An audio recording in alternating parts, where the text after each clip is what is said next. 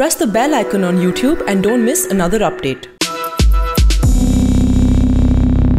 As the Rafale issue dominates national politics with heated discussions in parliament and the Congress attacking PM Modi as well as the BJP as a whole, Prime Minister Narendra Modi seems to have his own plans.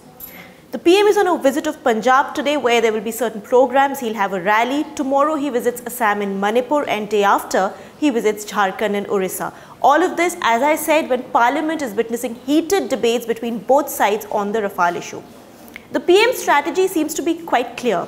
Let the Congress attack the PM and BJP on this issue through press conferences in Delhi and in Parliament. The PM will respond to these across rallies in various states. He's done that in the past. We've seen that he's done that. In rallies, he talks about how he's a victim of the Congress, how he's being attacked for no reason at all, and how his integrity is being questioned, how he's being called names, how he's being called a thief. And that seems to be, seems to be his strategy even now. They fielded Senior Minister, Finance Minister Arun Jaitley yesterday uh, to attack the Congress on this issue. But the PM seems to be clear that he does not want to get into uh, this particular issue in Parliament and he is going to take this up outside Parliament. As I said in rallies, the BJP top command feels this is more effective. Um, this, this is a better way of reaching to the common man, reaching the average voter who can understand what's really happening on the issue and to whom the PM can actually sell this narrative of being a victim and of being attacked only because he is not a dynast and he is not an entitled dynast like Rahul Gandhi is.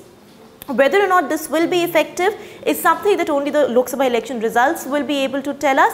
But yes, the distinction between the strategy of the BJP and the Congress on this is that Rahul Gandhi is using Rafale extensively in parliament. He's using it, he's holding press conferences in Delhi over the last six months. He's held many press conferences in Delhi on this issue. He's been tweeting extensively on this. So social media is a platform where he's selling Rafale, the Rafale issue extensively. But the PM is going to respond. Of course, he did respond to it through an interview earlier this, uh, uh, the first day of this year as we know. But he is going to respond to it mainly through his rallies and in a way where he does not have to answer questions but can simply talk about how he is being made a victim in this entire process.